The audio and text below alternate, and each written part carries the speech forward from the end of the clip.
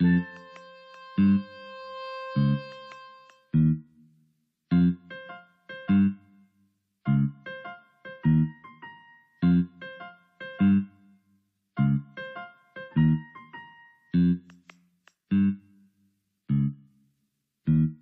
everybody, my name is Malika. This is MistaMalika Market, and in today's video, I'm actually going to be showing you how to make a clock out of resin.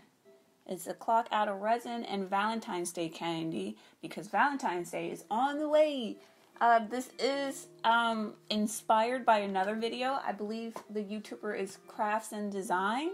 I'll have it on the screen in the description. The video that I was inspired by, she did a clock out of candy and resin. So I made this about two years ago when I first saw the video, but I made it too thick and I didn't have a drill big enough to turn it into an actual clock. But since Valentine's Day is on the way, I figured why not? You know, why not make it Valentine's Day themed? So I got all the things right for the most part. Um, I got the pieces from klockit.com and everything. Uh, everything is going to be in the description below what I, what materials I use, the steps, everything. And I just think it'll make a great gift. And you can even put like letters on it and like a little message like like love you long time or something corny like that. Time for some sugar. Give me some sugar.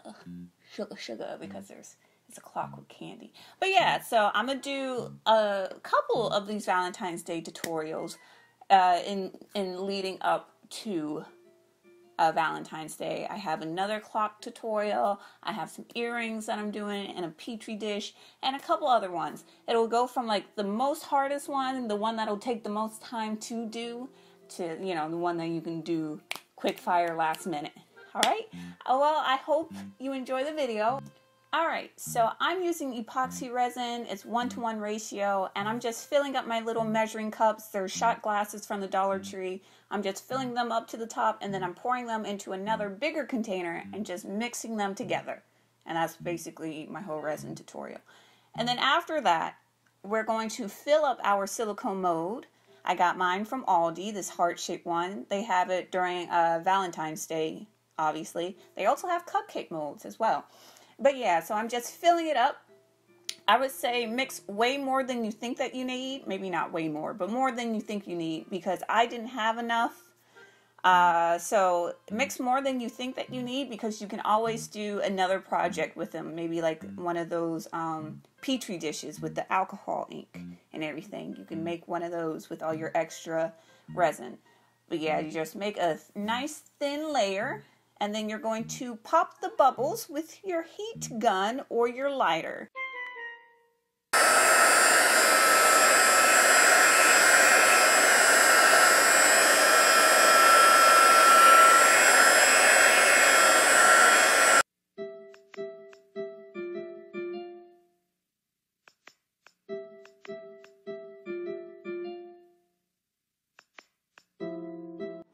So I don't, I'm about to go to work, but I don't know if you can see.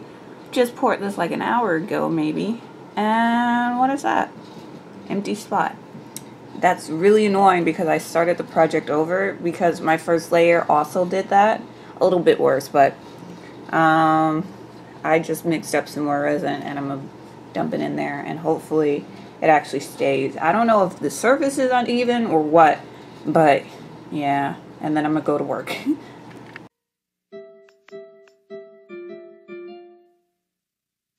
So as far as all the candy that I'm using, I have this heart-shaped lollipop. I have some swirly lollipops. I got them in two different colors.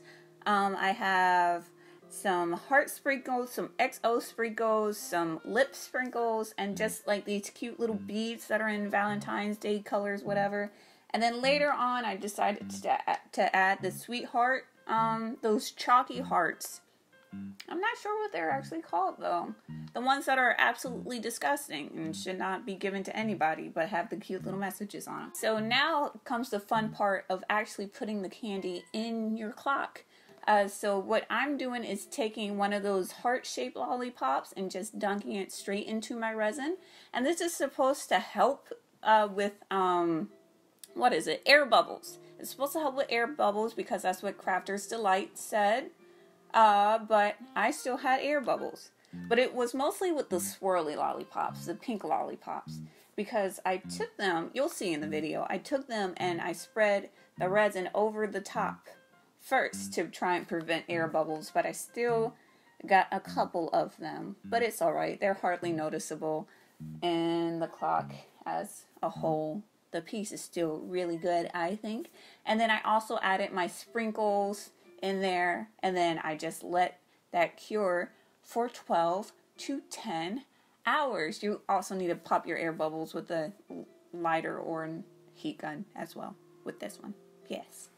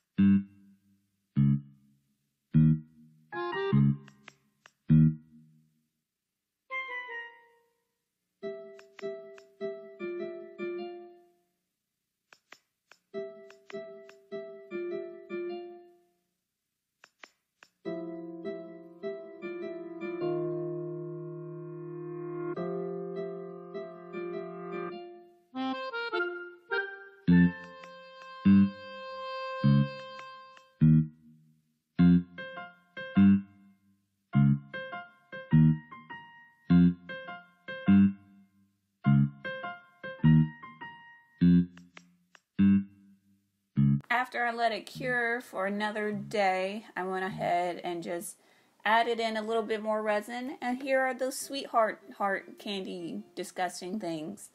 And so I poured in a little bit of resin and then just uh, started sticking them all over the place wherever I thought they would look nice. And then after that, I just covered it all up with more resin and then let them cure.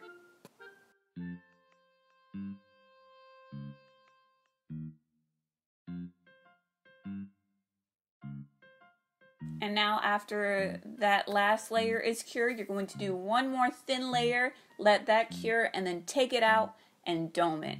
For some reason, I lost the footage of doming it, uh, but it was very, it was very easy, very simple. And I'm about to show you the resin that I used. I had some leftover resin and I just added some glitter into it. And I domed it with that and then let that one cure for 12 to 24 hours, obviously. And so now I'm just drilling it with my dad's drill, but that's my drill bit. Um, I went ahead and bought myself a power drill today, just so I don't have to go back home to do it. But yeah, I'm just drilling it until I got a hole through it, all the way through it. And now I'm putting the clock piece together. And now I'm just putting everything together with the clock piece and everything. I got mine from klockit.com. Um, I everything was fine with the website and it got to me in like three days, but I just found out that Hobby Lobby carries this size. I got a 3 fourths inch, by the way. And I found out Hobby Lobby carries this size, so I'll probably just get it from there because I can use a coupon for it. So yeah, I mean, this is it for my clock. It takes a double A battery, but I think the one that I have in it is dead because it doesn't move. So I'll probably switch that out. But yeah, after that, you're all done. You're all done. So I hope you guys try this and give it to somebody. Maybe put on a cute little message or something like that. But it was super easy. Uh, kind of, it was just frustrating. And it takes a while, you know, having to wait for the cures. But I think it's worth it. I like the way that it looks. I would suggest using like an art resin though, because this one seems to have already started yellowing. But yeah, that's it for this video. I hope you guys like it. Yay! Uh, stay tuned for all my other Valentine's Day tutorials, and I will see you in my next video. Goodbye!